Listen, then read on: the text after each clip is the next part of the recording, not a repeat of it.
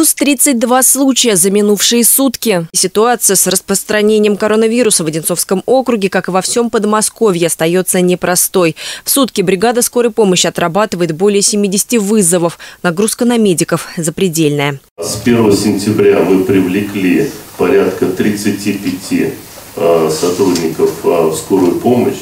Это и врачи, и средний медперсонал.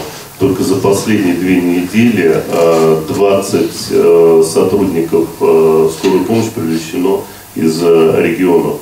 Но дефицит медицинских кадров все равно сохраняется. За помощью обратились к министру здравоохранения региона, чтобы увеличить количество бригад с 16 до 25. Отдельную работу проводят с жителями, разъясняют, чем скорая помощь отличается от неотложной. По поводу коечного фонда. Всего 2301 а, койка занята 1795. 506 коек на сегодняшний день свободно.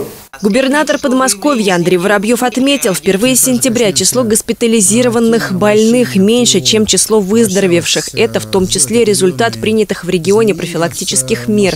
Жители 65+, по-прежнему находятся в вынужденной самоизоляции, а значит нуждаются в поддержке. В Одинцовском округе это более 49 тысяч человек. В Одинцовском молодежном центре организован колл-центр. А, также обслуживаются звонки всей Московской области. Вот. И, как я говорил ранее, это основные просьбы по результатам анализа чек-листов. Это купить продукты, лекарства и помочь оформить документы. Всего же в округе около 200 волонтеров, которые в любой момент готовы прийти на помощь нуждающимся. Связаться с добровольцами можно по телефонам, которые вы видите на экране. Евгения Августина, Артем Ломоносов, телекомпания «Одинцова».